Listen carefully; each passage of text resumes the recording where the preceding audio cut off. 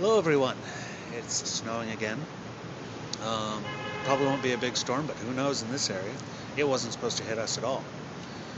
Uh, at least until this morning they said, oh yeah, maybe you'll get an inch. Mm. Okay. The crazy inaccuracies of DC weather DC area weather forecasting notwithstanding. Um, looked at one of the Resident's videos where she was talking about the quote unquote rise of China and how, you know, they're going to be number one. And that generally, we're number one is a stupid chant to begin with. And she didn't say they're going to be number one, but basically she was poking fun at the entire idea of we're number one when we have other stuff to do and there are other people in the world besides us. But this totally sidesteps how the Soviet Union was quote unquote supposed to surpass us once Sputnik was launched, that the Japanese were supposed to surpass us, that Germany was supposed to surpass us in the 70s. I think it was Germany, but um, basically two things. One, the press likes to rattle its scare stories all the time. And two, we are declining in many ways, but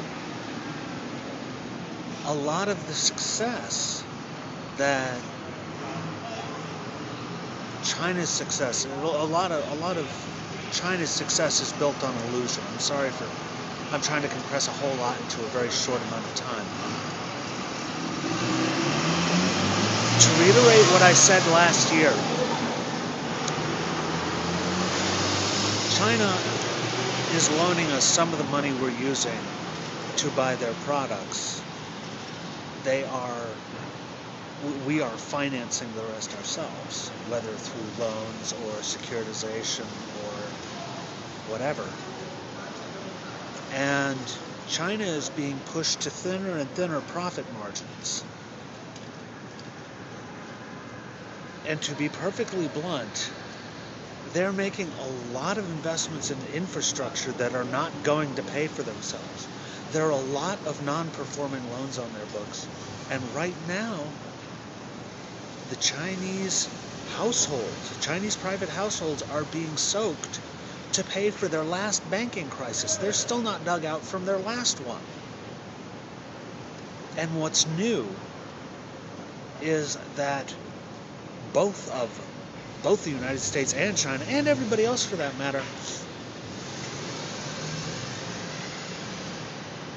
are in big trouble because the one thing that sits under everything that isn't water or air, as far as commodity prices, you know, if, if you don't have these th- this thing, you don't have it, is oil.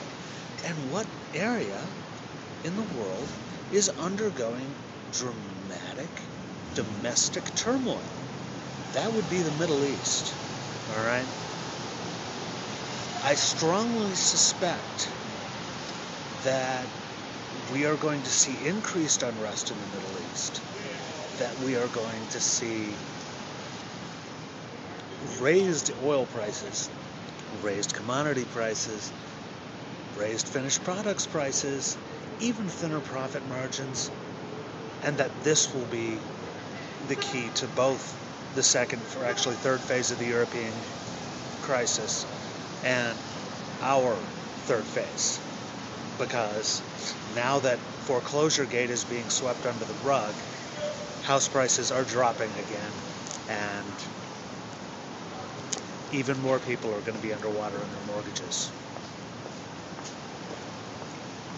So, hang in there, save money if you can.